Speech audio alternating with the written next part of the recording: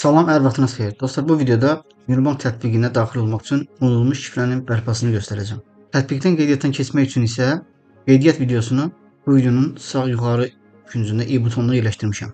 Oradan izləyə bilərsiniz. Deməli, qeydiyyatınız olduğu halda tətbiqdən çıxış etmisinizsə və şifrənizi bilmirsinizsə, bu formada pəncərə açılır və açılan pəncərədən nömrənizi sıfırsız bu bölməyə daxil edib davam edirsiniz.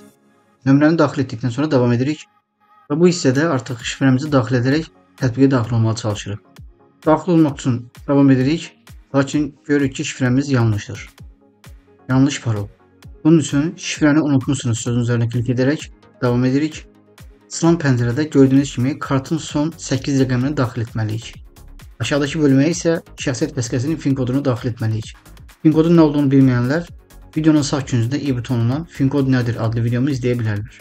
Tələb olunan məlumatları daxil edib davam edirik. Daha sonra açılan pəncərədə bizə OTP kodu göndərilir ki, boşxanaya daxil edək. Bir dəfəlik kodu daxil edib davam edirik.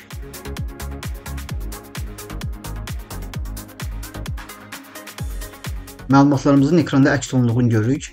Artıq hesabımız bərpa olunur. Davam edirik.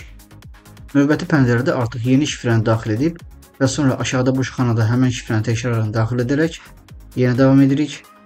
Daha sonra ekrana 4 rəqəmli giriş kodu təyin edirik.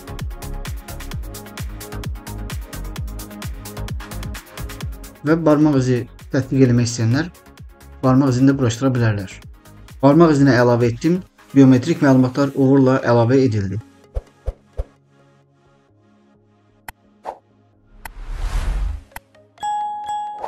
Və salam artıq tətbiq istifadəyə hazırdır.